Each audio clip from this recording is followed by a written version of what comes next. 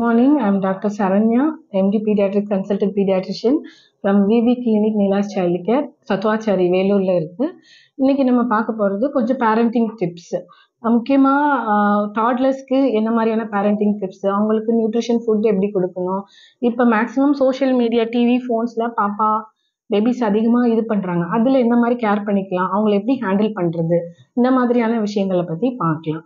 பேபிஸ்க்கு food and nutrition பொறுத்த வரைக்கும் ஒரு ஒன் இயர் அண்ட் அபோவ் அந்த பேபிஸ்க்கு மினிமம் ஒரு ஃபைவ் ஃபீடாவது கிடைக்கிற மாதிரி பார்த்துக்கோங்க. ஒரு நாளைக்கு அஞ்சு முறை சாப்பாடு. அஞ்சு முறை சாப்பிடுனா அஞ்சு முறையுமே அதிக அளவிலான சாப்பாடு அப்படின்னு கிடையாது.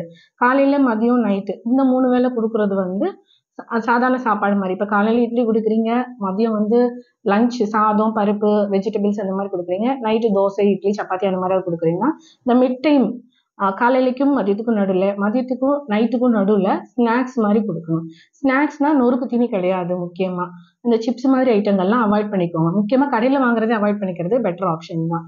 ஸ்நாக்ஸ் மாதிரினா நீங்கள் வீட்டிலேயே செய்யலாம் குழந்தைங்களுக்கு. பெரிய ஒரு ஒர்க்கே இல்லை. சுண்டல் பட்டாணி பச்சைப்பயிறு இதை மாதிரிலாம் அவிச்சு கொடுக்கறது. நார்மல் உருளைக்கிழங்கு கேரட்லாம் வேக வச்சு அதில் கட்லெட் மாதிரி செஞ்சு கொடுக்கறது. நார்மல் முட்டை பாயில் பண்ணி கொடுக்கறது கூட அவங்களுக்கு ஸ்நாக்ஸ் மாதிரி தான். வீட்டிலே நீங்கள் உளுந்து உளுந்து பருப்பு அதுலலாம் வந்து வடை மாதிரி மேக் பண்ணலாம். இதெல்லாம் ப்ரோட்டீன் ரிச்சாக இருக்கும். பாப்பாவுக்கு ஹெல்த்தியாகவும் இருக்கும்.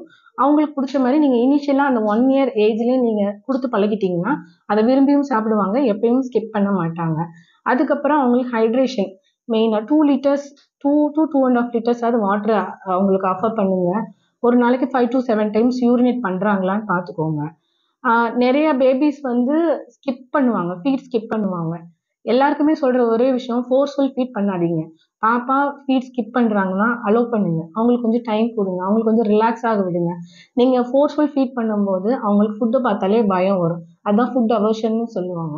அந்த ஃபுட்டை பார்த்து ஒன்ஸ் பயம் வந்துச்சுனாலே அந்த ஃபுட்டு நம்ம சாப்பிடலன்னா அம்மா அடிப்பாங்க அம்மா திட்டுவாங்க திணிப்பாங்க அப்படின்ற மாதிரி திருப்பி திருப்பி திருப்பி அதை அவங்க ஸ்கிப் பண்ண ஆரம்பிச்சிருவாங்க.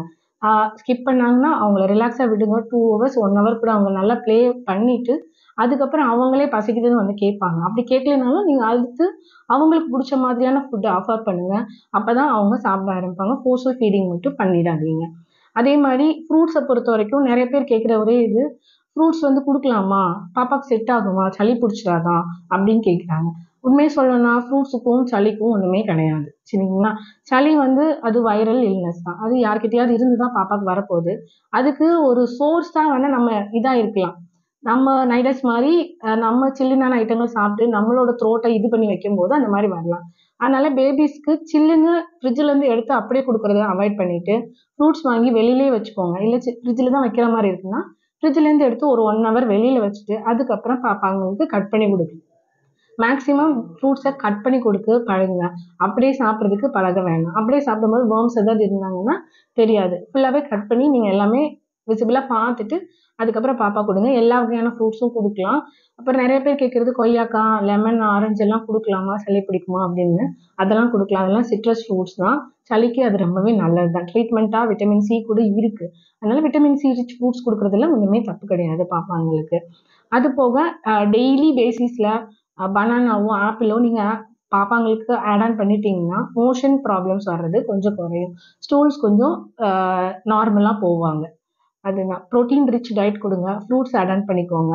வீக்லி ஒன்ஸ் ஆச்சு க்ரீன் லீஃபி வெஜிடபிள்ஸ் அதாவது கா பச்சை காய்கறிகளும் கீரைகளும் கொடுக்க பழகுங்க. நான்வெஜ் சாப்பிட்றவங்களா இருந்தாங்கன்னா முக்கியமாக non veg weekly twice add on பண்ணிக்கோங்க. அது ஃபிஷ்ஷாகவும் இருக்கலாம் சிக்கன் மட்டன் அது எது வேணா இருக்கலாம். அந்த ஈரல் மண்ணீரல் மாதிரியானது ஐட்டங்கள் ஆட் பண்ணிக்கோங்க.